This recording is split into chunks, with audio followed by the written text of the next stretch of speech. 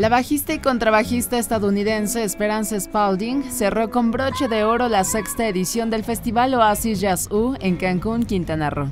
En la Oasis Arena, acompañada por Justin Tyson en la batería y Matthew Stevens en la guitarra, el trío, encabezado por la cuatro veces ganadora del premio Grammy, interpretó los temas Crowned and Kissed, I Know You Know, Nothing Like You y Work of Art.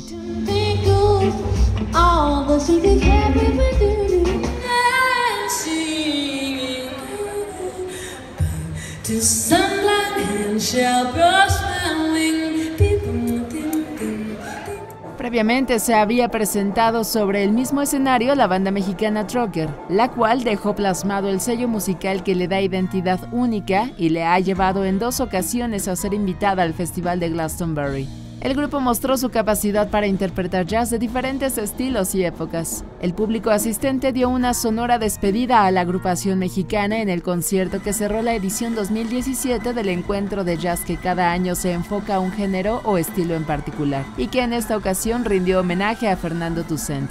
Con información e imágenes de Rodolfo Maldonado. Enviado. Notimex.